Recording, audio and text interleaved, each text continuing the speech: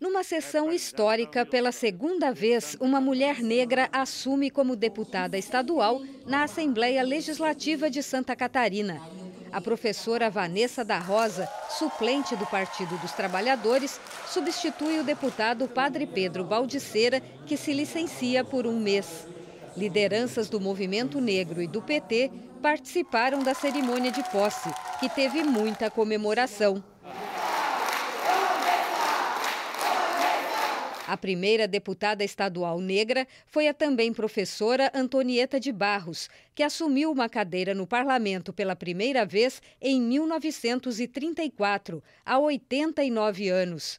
Vanessa da Rosa é servidora pública e ex-secretária da Educação de Joinville, mestre em Educação pela Universidade Federal de Santa Catarina, especialista em História da Arte e em Educação de Jovens e Adultos. Atua como professora há 33 anos, tendo lecionado da educação básica ao ensino superior. Nas eleições do ano passado, ela conquistou 16.832 votos e é a primeira suplente do PT.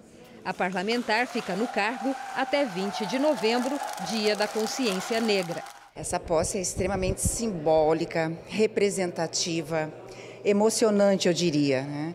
89 anos, após a primeira mulher negra eleita em Santa Catarina e no Brasil.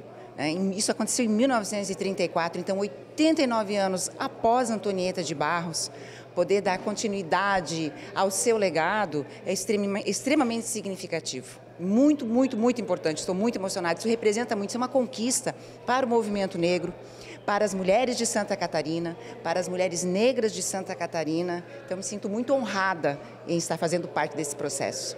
A deputada também falou das principais bandeiras que vai defender no parlamento catarinense. Eu não posso me furtar de abordar a questão da educação, até porque nós temos 10 milhões de jovens fora da escola, entre 15 e 29 anos, né, que são justamente o público do ensino médio. Então a gente precisa é, promover políticas públicas que equalizem essa, essa situação.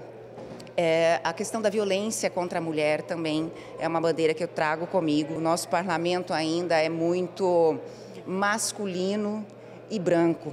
Então a gente precisa ajudar a mudar essa realidade. Só o fato de eu estar aqui e poder engordar um pouquinho o índice de mulheres no parlamento já me faz muito feliz, né? porque nós só temos 18% de mulheres nas assembleias legislativas do país.